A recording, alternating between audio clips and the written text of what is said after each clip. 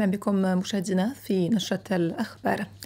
بداية في تقريره الأخير إلى مجلس الأمن حول الصحراء المغربية أعرب الأمين العام للأمم المتحدة أنطونيو غوتيريش عن أسفه إزاء صعوبة تحقيق التقدم في العملية السياسية بشأن الصحراء المغربية التي يقوم بتيسيرها مبعوثه وشخصي وأبرز تقرير أن المبعوث الشخصي أجرى مشاورات ثنائية غير رسمية مع مختلف الأطراف دون أن يتمكن من إعادة إطلاق العملية السياسية بهدف المضي قدما نحو حل سلمي ودائم للنزاع الإقليمي حول الصحراء المغربية.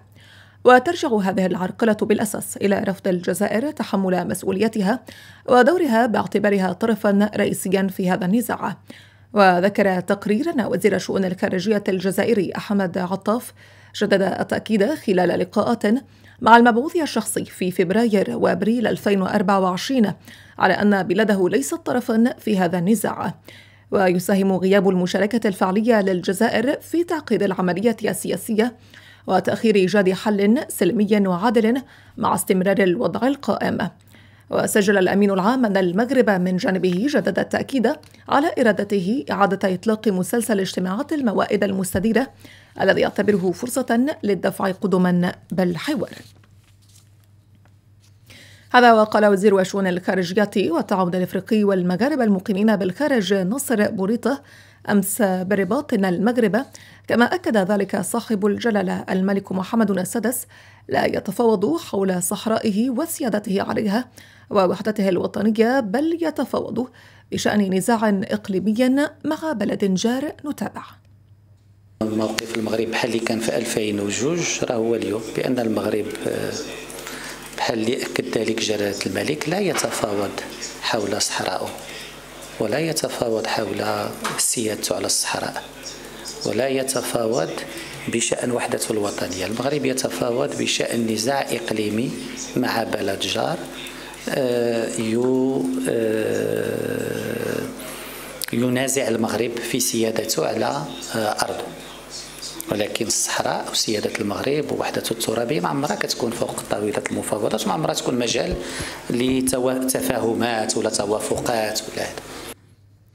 نبقى دائما بالرباط حيث جددت انتيغوا وبربودا تأكيد على دعمها للوحدة الترابية للمغرب وسيادة المملكة على كامل ترابها بما في ذلك منطقة الصحراء وعلى مساندتها للمخطط المغربي للحكم الذاتي باعتباره الحل الوحيد لهذا النزاع المزيد مع صفية عثمان.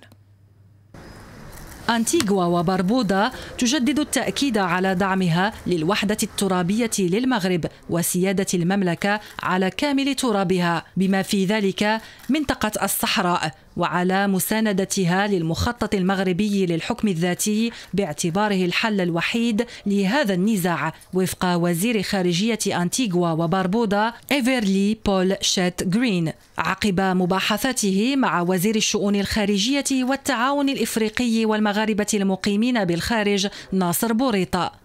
موقف أنتيغوا وباربودا كما جدد التأكيد عليه السيد شات جرين يندرج في إطار الدينامية الدولية التي تكرسها الرؤية المتبصرة لصاحب الجلالة الملك محمد السادس نصره الله الداعمة لمخطط الحكم الذاتي وسيادة المغرب على صحرائه.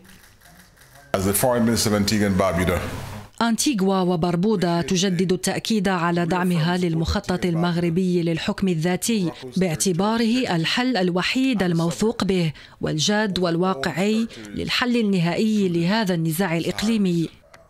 ومن جهة أخرى أعرب وزير الشؤون الخارجية لأنتيغوا وبربودا عن ارتياحه لتوطيد العلاقات بين البلدين معبرا عن تقديره الكبير لرؤية صاحب الجلالة الملك محمد السادس نصره الله من أجل تعاون جنوب جنوب متضامن وفعال.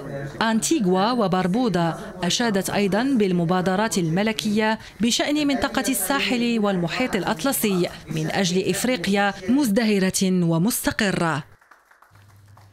وفي خبر آخر جدد وزير الشؤون الخارجية والتعاون الإفريقي والمغاربة المقيمين بالخارج نصر بوريطة التأكيد بالرباط على الالتزام الراسخ للمغرب من أجل حاكمة التكنولوجيا الحديثة الناشئة في إطار متعدد الأطراف وذلك وفقا لرؤية وتوجيهات صاحب الجلالة الملك محمد السادس.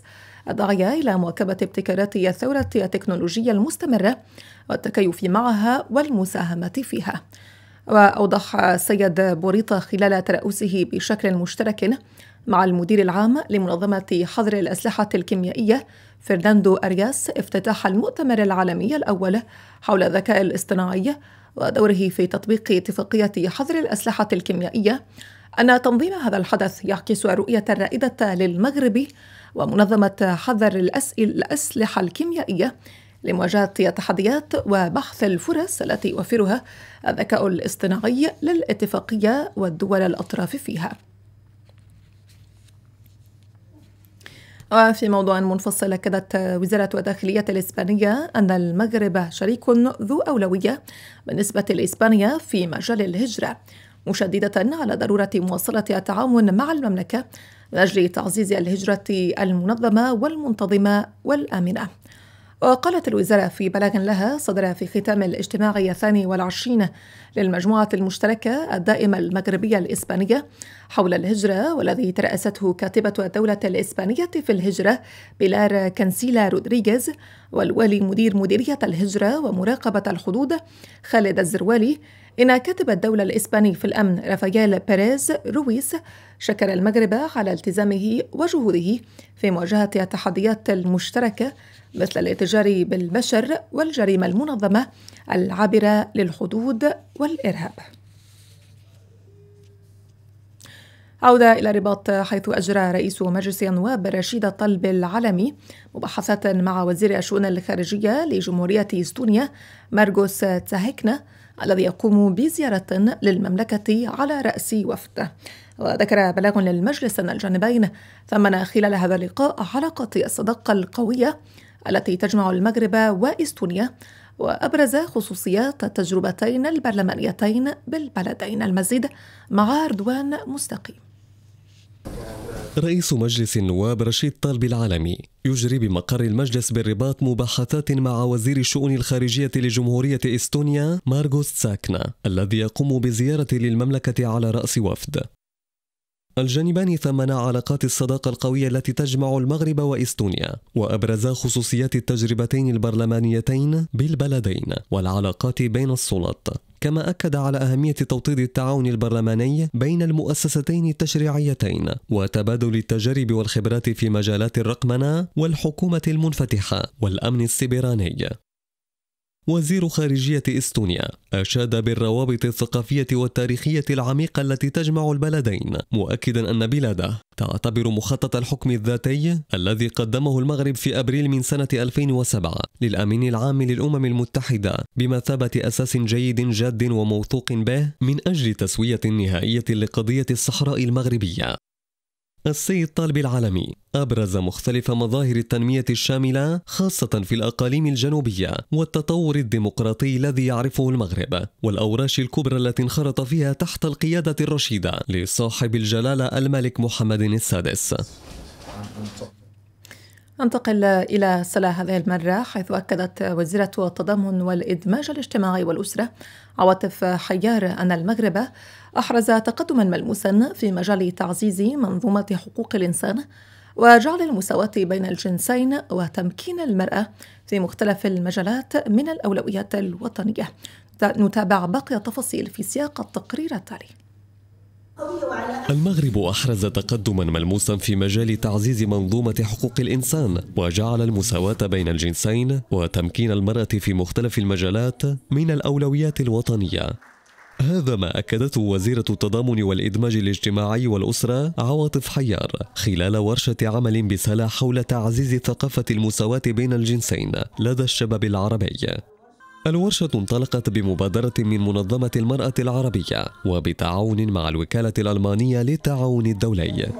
تحت القيادة الرشيدة لصاحب الجلالة الملك محمد السادس نصر الله استطاعت بلادنا خلال السنوات يعني الأخيرة باش نحسنوا من الترتيب ديال بلادنا اللي مرينا من المرتبة 144 في 2021 إلى المرتبة 137 في 2024 يعني كان ربحنا واحد سبعات ديال النقاط بهدف الخطة الحكومية المساواة 2023 2026 ركزنا على التمكين السياسي أيضا للمرأة وللشباب.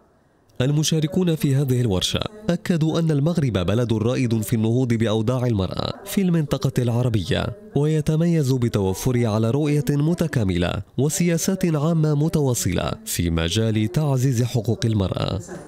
ما يهمنا بالتجربة المغربية هو أنها تنبثق عن رؤية استراتيجية هي رؤية صاحب الجلالة حفظه الله.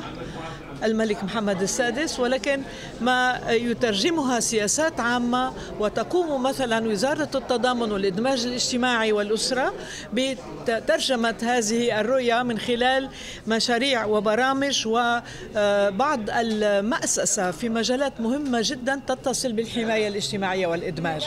بالرغم من التقدم الذي تم إحرازه لا تزال هناك تحديات مطروحة في بعض البلدان العربية خاصة فيما يتعلق بالمعتقد المعتقدات الثقافية التي تحد من دور المرأة في المجتمع وتؤثر على ولوج الفتيات للتعليم في الوسط القروي. وتتمحور هذه الورشة حول مواضيع تهم على الخصوص دور الإعلام في تعزيز الصورة الإيجابية للمرأة والعنف ضد المرأة وآثاره على الأسرة والمجتمع والتعليم والتربية من أجل التغيير. نتابع الآن مشاهدينا بالأخبار الدولية. انطلقت أمس بواشنطن أشغال والاجتماعات السنوية لصندوق النقد الدولي ومجموعة البنكية الدولية بمشاركة نخبة عالم الاقتصاد والمال من القطاعين العام والخاص وذلك إلى جانب ممثلين عن المجتمع المدني والأوساط الأكاديمية. المزيد مع فدوى نفيل. بواشنطن انطلقت فعالية الاجتماعات السنوية لصندوق النقد الدولي ومجموعة البنك الدولي بمشاركة نخبة عالم الاقتصاد والمال من القطاعين العام والخاص إلى جانب ممثلي المجتمع المدني والأوساط الأكاديمية. هذه الاجتماعات التي تنعقد في ظرفية اقتصادية تتسم بالتحديات وعدم اليقين تشكل إطارا لمناقشة القضايا المتعلقة بالتضخم والديون والثورة التكنولوجية فضلا عن التغيرات المناخية. وتتضمن أجندة هذا الحدث عددا من الاجتماعات والموائد المستديرة تتناول جملة من القضايا المتعلقة بسبل مواجهة آثار الأزمات وأهمية إعادة بناء الفضاء السياسي والحفاظ على التكامل من أجل تحفيز التبادلات والتعاون الفعال. الاجتماعات تناقش طيلة هذا الأسبوع ديناميات الاقتصاد الغذائي والتنمية المستدامة والأسواق المالية العالمية. هذا وكانت مراكش قد استضافت العام الماضي هذا الحدث البارز في الأجندة العالمية لرجال المال والأعمال. ودوليا دائما أعلن صندوق الأمم المتحدة للسكان أن التعداد السكاني في أوكرانيا تراجع بأكثر من ثمانية ملايين نسمة منذ بدء الأزمة الروسية والأوكرانية في فبراير 2022 وذلك استنادا إلى أرقام السلطات الأوكرانية. وقالت المديرة الإقليمية للصندوق خلال إحاطة صحفية في جنيف نلاحظ بصورة عامة أن عدد السكان في أوكرانيا تراجع بصورة عامة بعشرة ملايين نسمة منذ 2014 وبنحو ثمانية ملايين منذ بدء الأزمة الروسية الأوكرانية موضحة أن ذلك ناجم عن مجموعة من العوامل. وفي موضوع آخر بدعم من وكالة بيت مال القدس الشريف وصلت حملة عونة لقطاف الزيتون 2024 إلى قرية أم اللحم شمال شرق محافظة القدس وذلك لمساعدة مزارعي القرية على إنجاح هذا الموسم. نتابع تقرير هنا حجي حملة عونة لقطاف الزيتون 2024 تصل إلى قرية أم اللحم شمال شرق محافظة القدس لمساعدة مزارع القرية على إنجاح هذا الموسم رغم الظروف الاقتصادية والاجتماعية الصعبة التي تلحق بالمدينة وبسكانها. حملة عونة 2024 تصل إلى هذه القرية لدعم المزارع في هذه القرية. وكالة بيت مال القدس حينما تصل إلى هذه القرية لتدعم هذا الإنسان ليحافظ على أرضه يحافظ على شجرته والإنسان الفلسطيني بطبعه مرتبط بالزيت والزيتون مرتبط بشجرة زيتون مرتبط بالأرض. توزيع الدعم يجري بشكل متناسب على 30 من قرى وبلدات محافظة القدس لا سيما قرية خراب أم اللحم شمال غرب القدس وقرية مخماس في وسط المحافظة ثم منطقة وادي الحوض في أراضي العيزيرية وكلها مناطق تعرضت هذا العام لحجم اعتداءات أكبر من غيرها. اليوم بيت المال آه، المغربي وعدد من النشطاء إضافة إلى ممثلين رسميين. هذا يؤكد على التحام الشعب الفلسطيني بكافة مؤسساته وعلى الدعم آه، المغربي للمناطق المقدسية. وكالة بيت مال القدس الشريف ترعى للسنة الثالثة على التوالي موسم قطاف الزيتون بالشراكة مع محافظة القدس في إطار برنامج عونة لقطاف الزيتون بتوفير المعدات وآلات القطف الكهربائية المزودة ببطاريات متنقلة والسلالم ومعدات أخرى تستخدم في جني ثمار الزيتون. عودة إلى الأخبار الوطنية ونستأنفها من الدار البيضاء حيث جرى بالمسرح الكبير بنمسيك تقديم العرض المسرحي الجديد عطاي العزارة للمخرج سامي سعد الله. وجمع هذا العرض المسرحي الذي قدمته فرقة المحترف الذهبي للفنون الدرامية ثلة من نجوم المسرح المغربي رغدة قبوري في المتابعة. بالمسرح الكبير ابن مسيك بالدار البيضاء جرى تقديم العرض المسرحي الجديد عطاي العزارة للمخرج سامي سعد الله. هذا العرض المسرحي الذي قدمته فرقة المحترف الذهبي للفنون الدرامية جمع ثلة من نجوم المسرح المغربي. هذه المسرحية هي من تأليف الأستاذ القدير سعد الله عبد المجيد. هذه المسرحية فيها واحد المضموع اجتماعي نفسي سيكولوجي وديما حنا كشباب خصنا نرجعوا الموروث الثقافي المغربي ديالنا. مسرحية كتناول أساطير مغربية بطريقة درامية مكتوبة بطريقة رائعة جدا. العرض المسرحي يستمد عناصره الدرامية من الأساطير الشعبية التي توارثها الأجيال حول حياة بوشعيب الرداد ولا العيشة البحرية والتي لا تزال مرتبطة بشكل وثيق بمنطقة أزمور. والختام بالفنية السابعة حيث تم عرض فيلم أنين صامت لمخرجته مريم جبور في إطار المسابقة الرسمية لفئة الأفلام القصيرة للدورة الرابعة والعشرين من المهرجان الوطني للفيلم بطنجة تفاصيل مع رضوان مستقيم. في حي شعبي قرب البحر يونس. شاب عشريني يعاني من مرض التوحد. يحاول التعايش مع هذا المرض الصامت الذي يتسبب له في اضطرابات سلوكية ويدخله عالما خاصا. وفي الوقت الذي يقضي إدريس والد يونس معظم يومه في البحر يحاول بإمكانياته الخاصة وثقافته البسيطة معالجة ابنه بطرق تقليدية لوقف أنين هذا المرض الصامت. مرض سلطت المخرجة وكاتبة سيناريو الشابة مريم جبور الضوء عليه في فيلمها القصير الذي يشارك في المسابقة الرسمية لفئة الأفلام القصيرة ضمن فعاليات الدورة الرابعة والعشرين للمهرجان الوطني للفيلم بطنجة. أنين صامت. حاولنا نعالج واحد جوج مواضيع اللي هو اللي هو اضطراب التوحد من جهة. آه الناس ديالو كيبقاو في واحد العالم ديالهم mais en parallèle كنشوفوا الآباء اللي كيعانيو مع اولادهم و هذا الموضوع ماشي أول مرة كان زعما كيطرقوا له المخرجين. إحنا شفنا بزاف الأفلام mais من الأغلبية كنشوفوا الأمهات هما اللي كي اللي كيعتنيو بالأطفال ديالهم سواء كان الأب أو في غياب الأب. هنايا حاولت أنني نبين الجانب ديال الأب. الأب بوحديتو آه والمعاناة اللي, اللي كيعانيوها. مشاركة المخرجة الشابة مريم جبور في الدورة الرابعة والعشرين للمهرجان الوطني للفيلم بطنجة. فرصة مهمة لفيلمها القصير أنين الصامت باعتبار المهرجان من التظاهرات الثقافية والفنية الكبرى بالمملكة والتي تعطي لمهني قطاع السينما دفعة متميزة وإيجابية في مسيرتهم الإبداعية. بهذا نكون قد وصلنا إذا مشاهدينا إلى نهاية النشرة لكن تغطيتنا مستمرة لأبرز الأخبار. دمتم في أمان الله.